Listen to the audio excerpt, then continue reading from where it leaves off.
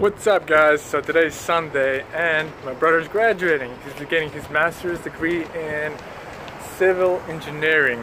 So for his surprise I've decided to buy a champagne, actually two champagne bottles and uh, to have like a last friendly fight with him so to say. I'm gonna spray it. So yeah, here's the bottle. So I got it.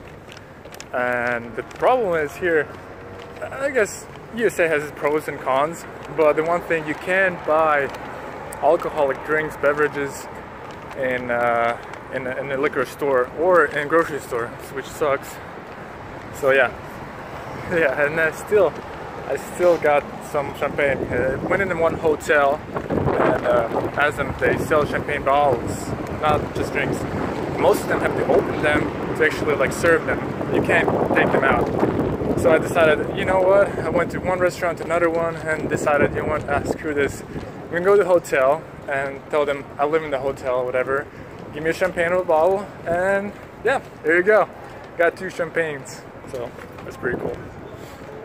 And yeah, I'll be recording. Well, Ashley is actually going to be recording. How we're gonna spray each other.